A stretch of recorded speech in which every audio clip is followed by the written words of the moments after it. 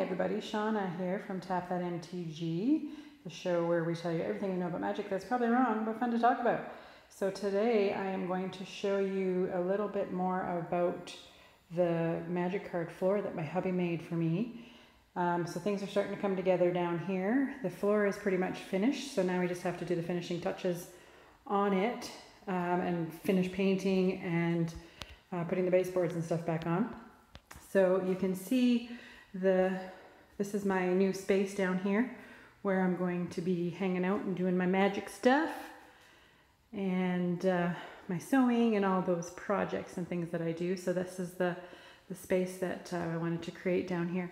So that, and then the floor goes down to there. So what I wanted to show you was these are the tiles that Bruce made. So he basically glued cards to um, paper. I wanted to, there's one that's coming up that I wanted to show you on this one.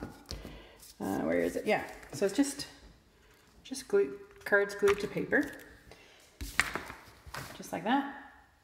You can kind of see that.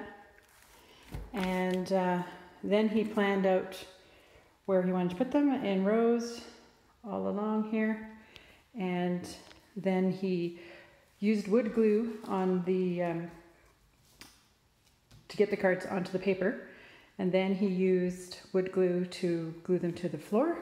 And then it's uh, polyurethane to cover the floor. So um, certainly not perfect.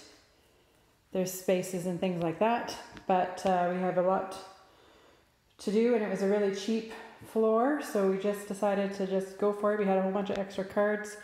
Um, some really good uh, example cards over here I wanted to show you. Oh, that's bright. Let's show you something over here. Um, here we go.